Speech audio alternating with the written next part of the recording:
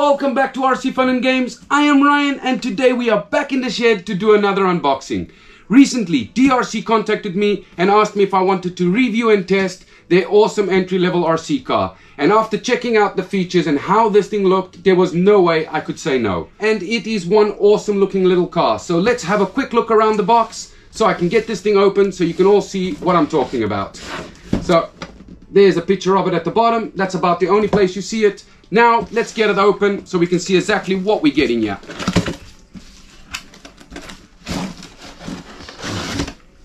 So we get some instructions included.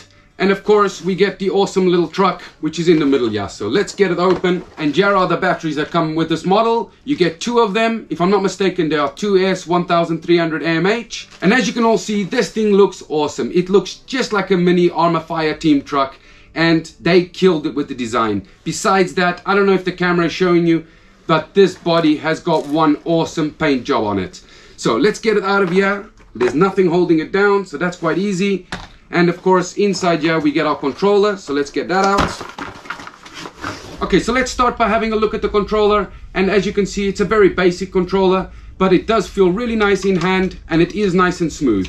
It has two basic functions. One is your steering trim and the other one is to regulate the power to the truck. So if you're giving it to a beginner, you can cut down the power so they don't immediately smash it into something and break it. Okay, now let's check out this awesome truck. Just check out the design of this thing. It really does look like a mini Arrma Fire Team truck. It looks so amazing. And besides that, they've gone and chosen a really nice paint. When you move it around, it changes color. It changes from purple to blue to green. I don't know if the camera is picking that up, but it really does look awesome. And inside there, you'll see you've got two drivers. So you haven't got four like in the Arrma, but it does look really awesome. The whole design of the truck looks really cool. Now, it does have lights up front. It's got a light bar and on the bumper it's got some lights. And in the back, you don't get any lights, but you have got a wheelie bar. Now, let's get the body off so we can see exactly what does it come equipped with. Now, I just want to point out that the clips are all held on and that's another awesome feature. Now, when removing the body, just be careful because the light tab is here and if you pull too hard, you will break the lights. So just unplug it Okay, so let's have a look at this platform. And as you can see, the chassis design is a full plastic chassis design, which in my opinion is not a bad feature because it ends up taking more abuse than some of these budget line RC cars with an aluminium chassis. Besides that, you have got some aluminium bodied shocks, which are only friction dampers and you can tell immediately it is quite bouncy. So if you want a better performance from it, you are gonna have to upgrade the shocks. Besides that, it does come with a 390 high-speed power motor with a big heat sink, so that should keep it nice and cool. Besides that, we have got a high torque servo. If I'm not mistaken, it is a 15 kilogram servo, so it should be plenty for a little truck like this. And it comes equipped with the two-in-one electronics. Most budget trucks nowadays have these electronics, and that also means the servo is a five cable servo. So if you want to upgrade the servo and things like that in the future, you are going to have to upgrade the electronics on this rig. Now, like I've mentioned, this thing comes with two batteries. They are 2S and they are 1300 milliamp. Apparently they give us around 20 minutes runtime on this truck. So the two together should give a person around 40 minutes runtime. Okay, so now that we've had a good look at the layout and we know exactly what it comes equipped with, I think it's time I throw the battery pack in here and get out there and go and do some testing. Besides me testing it, I'm also going to hand it over to my six-year-old son to see how user-friendly this entry-level RC car is for somebody that's just starting out in the hobby. And before I run away, I would also like to say a massive thank you to DEERC for sending out this RC for me to test and review. And I also wanted to thank you all for watching and if you enjoyed this content, please don't forget to like, share and subscribe.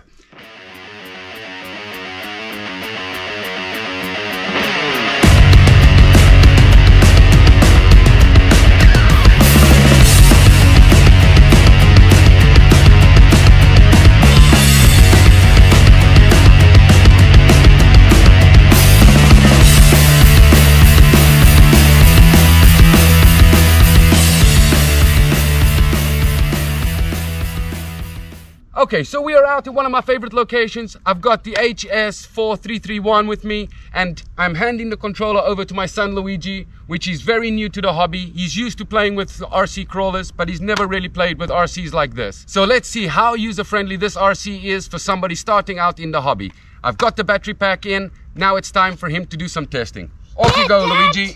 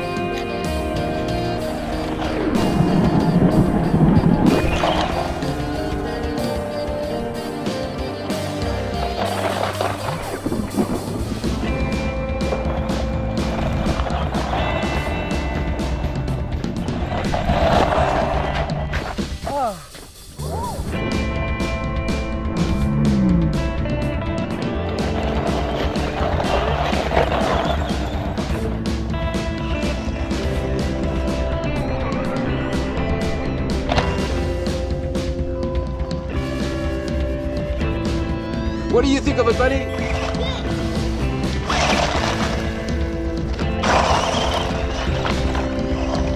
Come on, buddy, keep having fun.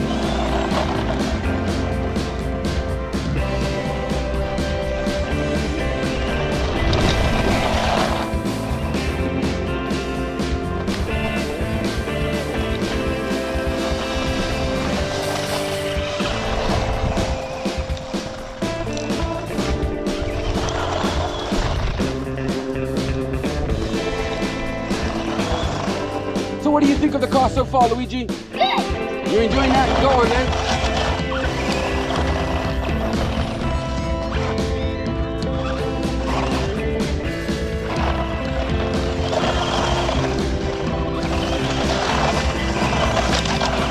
Oh yeah.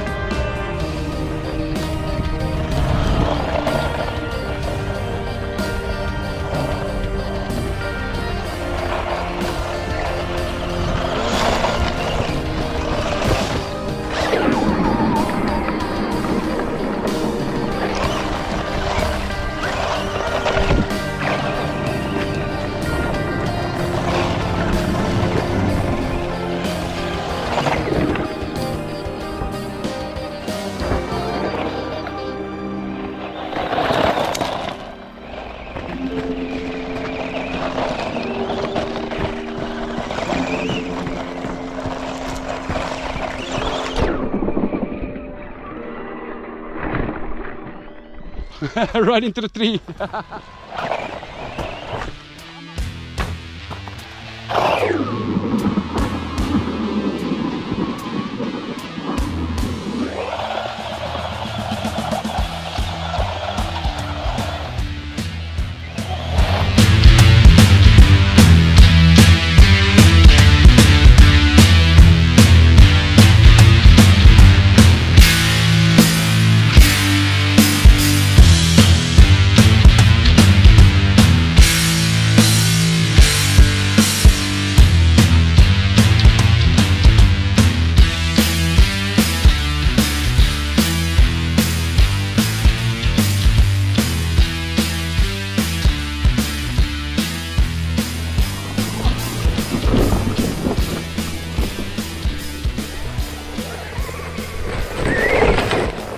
okay, buddy, so what did you think of the overall performance of the little truck?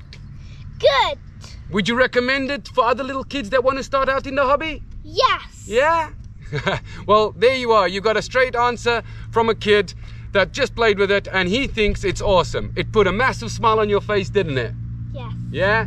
Awesome. Okay, guys, I appreciate you all watching. And if you enjoyed this, please don't forget to like, share, and subscribe. Until the next time, happy trails, everyone.